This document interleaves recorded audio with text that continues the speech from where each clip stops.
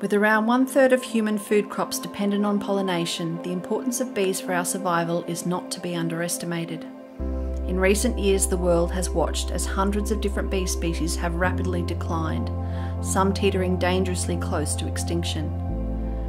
Many of the questions of how and why this is happening have focused on the better known and much loved honeybee species. But in southeast Queensland, a similar decline is taking place for our native bees. Small, shiny, and black, our native bees are just as important as the exotic honeybees and yet remain relatively poorly understood. What happens to us if we lose these insects too? This is the story of the stingless bee.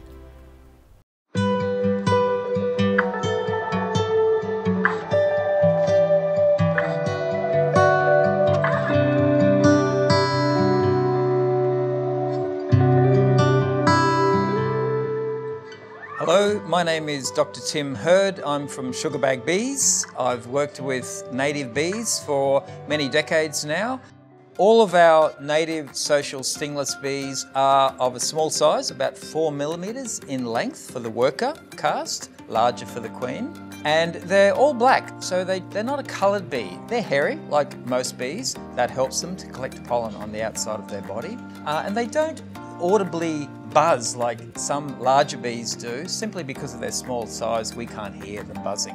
Our native stingless bees are highly social. That means they cooperate in a colony and they do that by working together to rear their young. The reproduction in the colony is dominated by the queen. She does all the egg laying.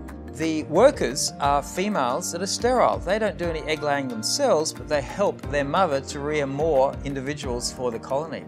And then there are the males as well, which we call the drones, whose job is to mate with the queen.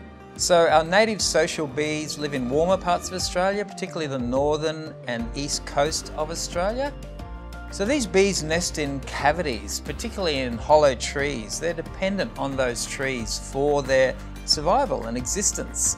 Where land clearing occurs, trees are cut down and those colonies are lost. Uh, so we are seeing a decline in these bees in areas that are being cleared. However, the tide is changing in terms of the conservation and awareness of these species in the sense that people are rescuing the logs that the colony is, uh, is, is housed within and uh, they're ensuring the survival of those logs by removing them from those land clearing operations and often then installing them in nearby bushland or bringing them into uh, community gardens and schools, places like that where they can be used for educational purposes. My name is Alex Griffiths. I run Little Bee's Secret Garden, which is a native bee demonstration garden and nursery based in Canungra. Little Bee's Secret Garden is a combination of a few things that I love, gardening and native bees. And I combine those two to create an ideas palette of a few things that you could put into your garden to attract native stingless bees. Firstly, plant native bee forage. Bees are particularly attracted to flowers in the spectrum of yellows and blues and whites. If you must use pesticides, do it at night or downwind away from the beehives. Native stingless bees also like to nest in hollow logs.